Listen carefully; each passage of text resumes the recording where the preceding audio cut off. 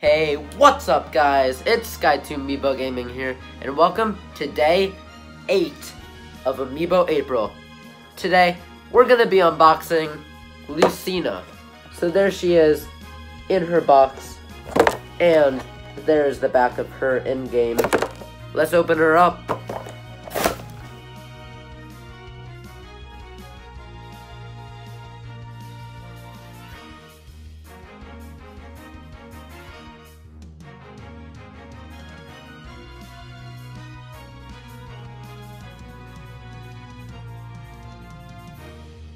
So right off the bat, she also has a symbol on her cape and a pointy sword, just like Marth, and a hidden sword, just like Marth. It's basically the girl version of Marth.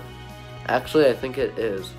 I'm not sure. I'm gonna have to check on that. Anyways, pretty much same detail as Marth was, but this is Lucina. Thank you guys so much for watching the unboxing of Lucina.